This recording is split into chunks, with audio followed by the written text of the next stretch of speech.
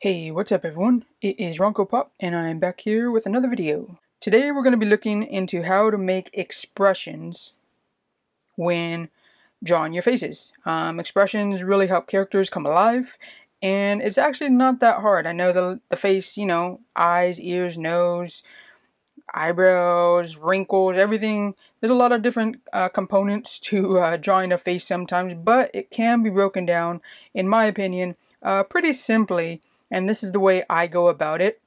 The main two, maybe three uh, components of really getting good expressions out of a face. Um, eyebrows for one, the mouth second, and then tied for third is kind of like eyelids and like maybe a few wrinkles or a few creases. Uh, we'll get into that part too.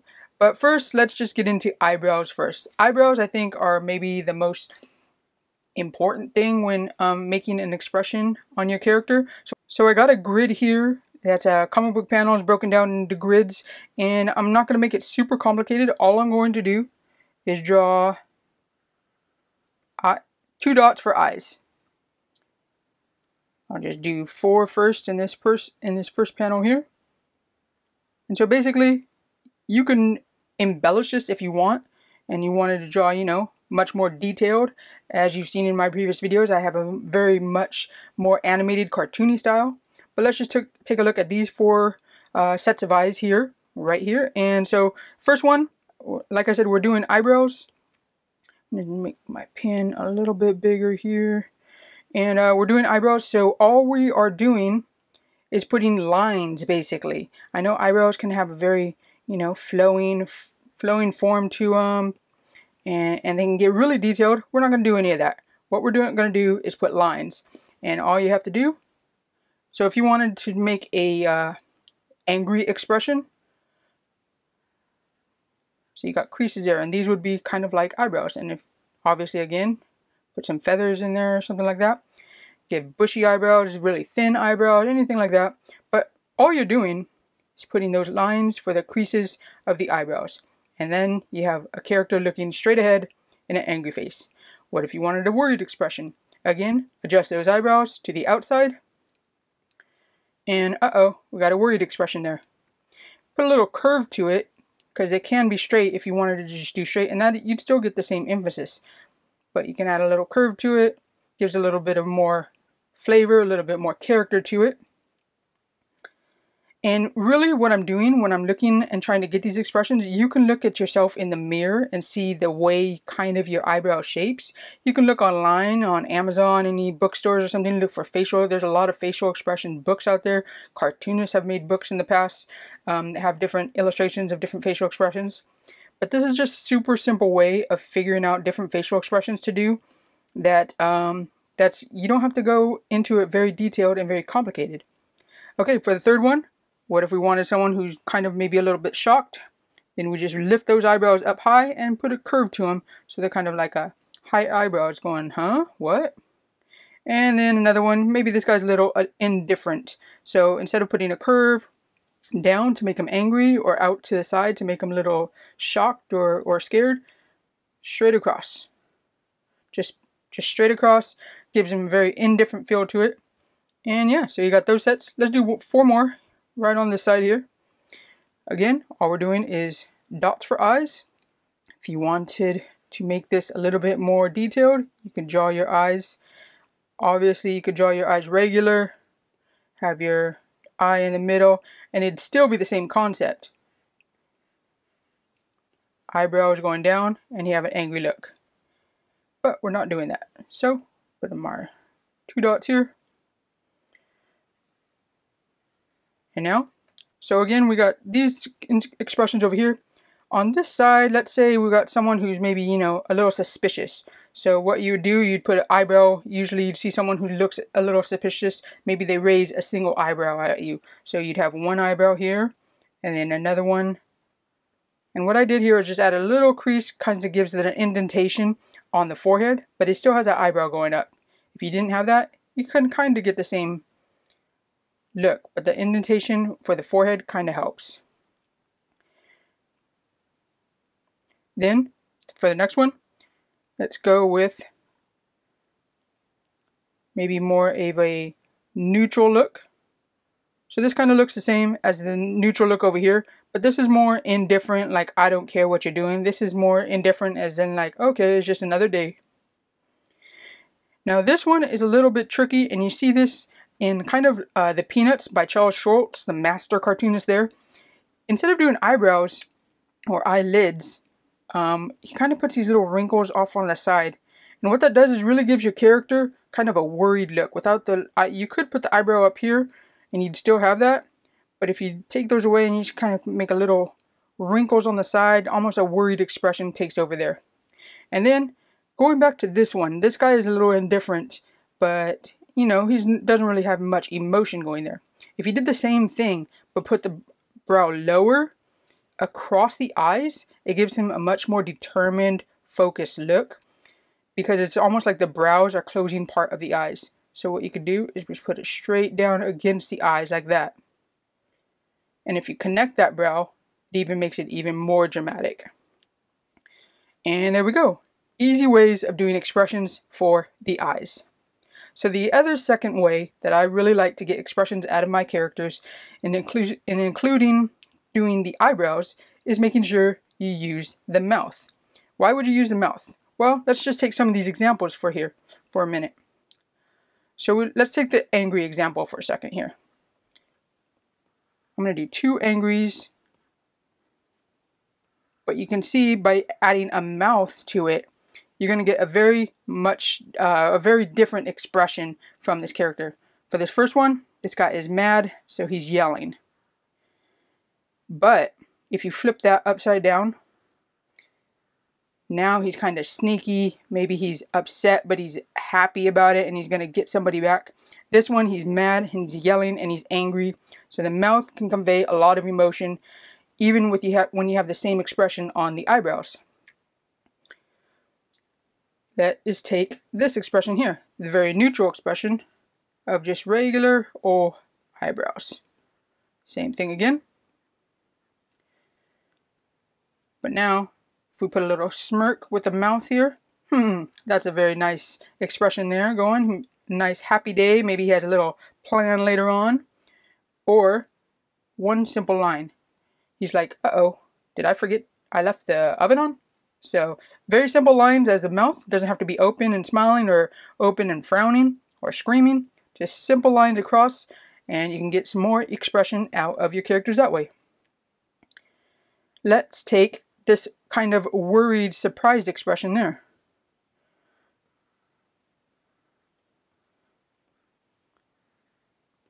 So in this one, you have the worried kind of surprised expression. And now, if you put a little big happy face. Maybe he's just having a really good day there. These are little indentations for his cheeks. But if you make kind of like a, a wiggly line, Charles Schulz again, master at doing something like this with his characters like Linus. Now he's just like, uh-oh, he's very nervous. Maybe he has an upset stomach. Maybe he has a test coming up in school. He's going in for a review at work. You never know. And uh, that the line, see, taking away that one there. But when you have the lines there, adds more expression to the character's face. Last expression here. Um, and again, you could do these uh, mouth expressions with any of these eyes, but we'll look at this one right here with a hard scowl across the brow. So again, very determined, very, maybe he's annoyed, and he could really pull, off, pull off an annoyed look by putting a little frown just off to the side, just like he is like Oscar the Grouch, do not talk to me, I've had a bad day, I woke up on the wrong side of the bed. But on this side, if you put a little smile Again, maybe he just kind of has one of those grumpy faces, but he's smiling. And he's like, hey, I'm not such a bad guy. so yeah, easy ways of getting good expressions out of your characters. Two simple ways. The easiest, I think, are using eyebrows and using the mouth. Lastly, there are, you can use little wrinkles around the mouth, around the eyes, and um, using the eyelids. So what we'll do down here let us take uh, let us take this no normal expression here again. So what you will do, say we had this here. And we have the line going across. So you have that line. And then you have this little expression like, yeah, I don't want to talk to anyone today. But if you use that same line, if you use the same concept as eyelids, those are your eyes. Maybe put a line across as, as more stylized way of doing this. And then you add eyebrows to it. So the eyelids with the eyebrows adds another component to the character's expression. At first, he's maybe like, I don't want to talk to you. The second expression with the eyebrows and the eyelids together, it kind of gives an expression of like, I don't want to talk to you, but maybe you have something interesting to say. So eyelids can be used very good and very appropriately to get more expression out of your character.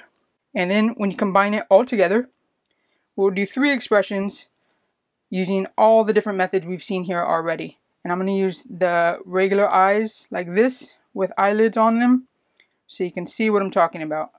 And again, we are just doing simple cartoony style but if you wanted to, you could do your own style if it's more in-depth, more detailed like. So here we go. We got in different eyes. And this is combining eyelids, eyebrows, and mouth all together. So if you have, hmm, maybe he's interested. Then you just add a little open circle for the mouth like, oh, interesting. But same expression with the mouth here. Adding eyebrows down. Now he's like, don't talk to me, get out of my face. And then lastly, same expression with the mouth, same expression with the eyes and the eyelids. But if you change the eyebrows, like one of our first expressions there, outside, and now it's like, oh, he's tired, he's worried, he doesn't want to deal with the rest of this day, he just wants to go home and go to sleep. So there we have it. A bunch of different ways that you can use to get expressions out of your characters. Very simple, very easy.